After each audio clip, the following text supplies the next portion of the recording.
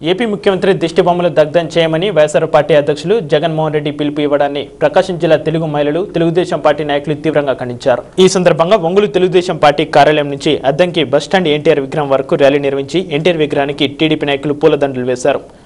అనంతరం టీడీపీ నాయకులు మాట్లాడుతూ రైతులకు రుణమాఫీ డాక్రా సంఘాలకు రుణమాఫీ ఇచ్చిన ఘనత టీడీపీ పార్టీదే అని జగన్మోహన్ రెడ్డి వాస్తవాలు తెలుసుకొని మాట్లాడాలని వారు హెచ్చరించారు.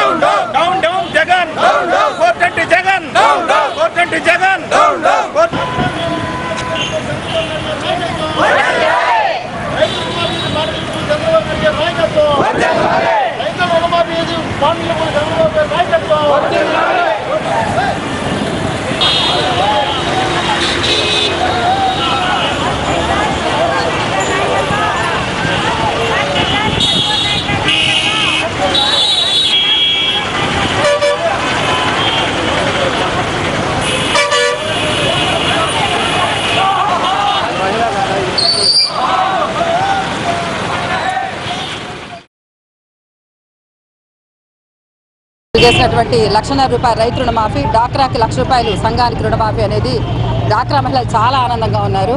అది కేవలం మేం చెప్పడం కాదు ఇప్పుడున్నటువంటి డాక్రా మహిళలే వీళ్ళంతా కూడా ఎన్టీఆర్ విగ్రహానికి దండ వేసి వాళ్ళు తమ ఆనందాన్ని తెలియజేసుకున్నారు ఇంకోటి కూడా చెప్తా ఉన్నారు జగన్ నువ్వు మాట్లాడొద్దు. మీ మీ హయంలో మీ నాన్నగారి హయంలో మధ్య ఏరుల్లా పారింది. మహిళలకు రక్షణ లేదు.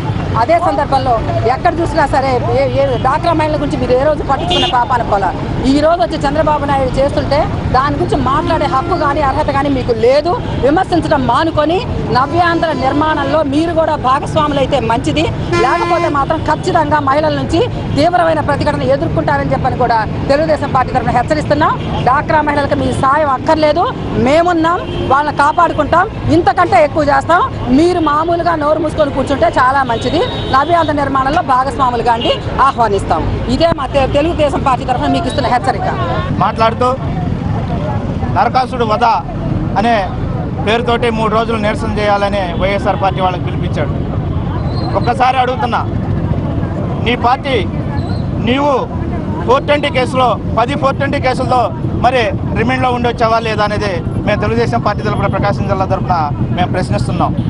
ఒక చిన్న సన్నకారు రైతులకి ఇవాళ లక్షన్నర మరి రుణమాఫీ జరుగుతుందంటే రైతులకి ఎంతో ఆనందదాయకంగా ఆంధ్ర రాష్ట్ర ప్రజలందరూ సుఖ సుఖ సంతోషాలతో ఆనంద భాషవాళ్ళని మరి ఇలా ఎంతో దీనిగా స్వీట్లు పంచుకుంటూ ఎంతో ఆనందంగా ఉన్నారు. అట్లనే డాక్రా మహిళలకు లక్ష రూపాయలు రుణం మరి పోతుందని అంటే డాక్రా మహిళలు ఎంతో ఆనందపడుతున్నారు.